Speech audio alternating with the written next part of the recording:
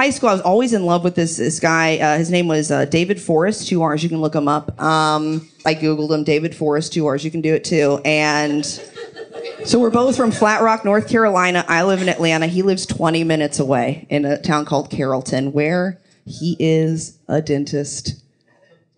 You'll know what that means? It means my insurance will pay for him to put his fingers in my mouth. I've got an appointment on Monday. I can just see it now, you know? He's gonna be all like, stop sucking on my hands.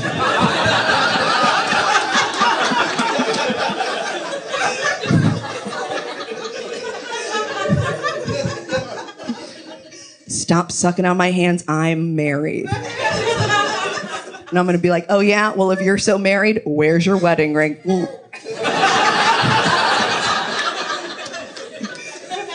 Come and get it.